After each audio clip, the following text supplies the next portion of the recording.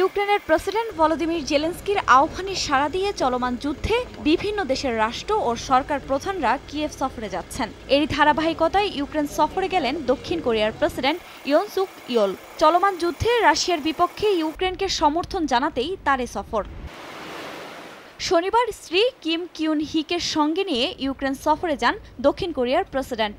ন্যাটোর সম্মেলনে অংশ নেয়ার পর ইউরোপের কয়েকটি দেশে সফর করছেন দক্ষিণ কোরিয়ার প্রেসিডেন্ট। তার অংশ হিসেবে ইউক্রেন গেলেন তিনি। ইউক্রেন পৌঁছেই রাজধানী কিয়েভের কাছাকাছি দুটি ছোট শহর বুচা ও ইরপিন পরিদর্শন করেন, যেখানে যুদ্ধে নিহতদের স্মরণে ফুলের শ্রদ্ধা জানানোর পাশাপাশি যুদ্ধ বিধ্বস্ত দেশটির পাশে থাকার আশ্বাসও দেন তিনি।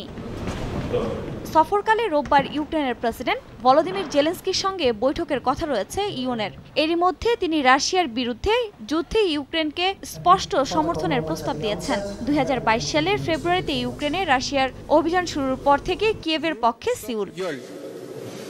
আফরিন মৌ, সময় সংবাদ।